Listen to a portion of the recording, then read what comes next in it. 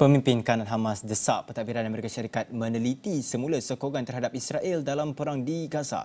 Kritikan dikeluarkan Osama Hamda ketika Setiausaha Negara Anthony Blinken berada di Asia Barat untuk misi diplomatik tergempar.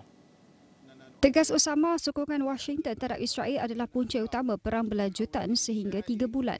وفي الوقت الذي يقوم به الوزير بلينكن بزيارة للمنطقة فإننا ندعو الإدارة الأمريكية إلى مراجعة شاملة وواقعية للسياسات الأمريكية التي امتدت على مدى شهور ثلاثة خلال هذا العدوان وإلى مراجعة لموقفها تجاه ما يجري على أرض فلسطين من انتهاكات ومجازر وحرب إبادة كان العامل الأساسي في استمرارها هو الموقف الأمريكي الداعم لهذا الكيان. Menyentuh kemungkinan pasca perang, Osama turut menekankan wilayah semenanjung Gaza hanya boleh ditakbir Palestin. Beliau juga mendesak negara-negara Arab, negara Islam serta negara Afrika menyokong kes dikemukakan Afrika Selatan ke atas Israel di Mahkamah Jenayah Antarabangsa ICJ.